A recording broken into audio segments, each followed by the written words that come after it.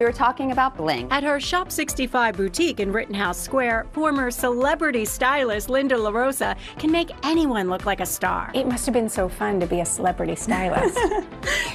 Stressful, but fun. yes. Now she caters to everyone from college students to their grandmas. Whoever really loves style and wants to wear something a little different. And she says bling is definitely in as we head into spring. It's about empowering a woman to really feel her best. Don't we all just want to feel like we look good? There's a wow appeal that you want to kind of come forward with. She says you don't have to save your sequins and shimmer for nights on the town. It's a sequin cami. It can be worn pretty casually. Pair it with velvet side stripe jeans and a scrunch sleeve jacket, and you've got an office appropriate outfit. You're still serious, you're still professional. Swap the blazer for this beautiful feather bomber. And now you're ready to party. You can add a pop of bling with jewelry or a fancy clutch. It's bad enough that we have to deal with the dreary weather, so we always want to get something to kind of cheer up our moods. That's true. You have to have some reason to sparkle. Pajama cut blazers are big this season, covered in sequins or with a strong texture like this crushed velvet. This is much more sophisticated. Mm-hmm. Any age range could wear this. I love this pajama idea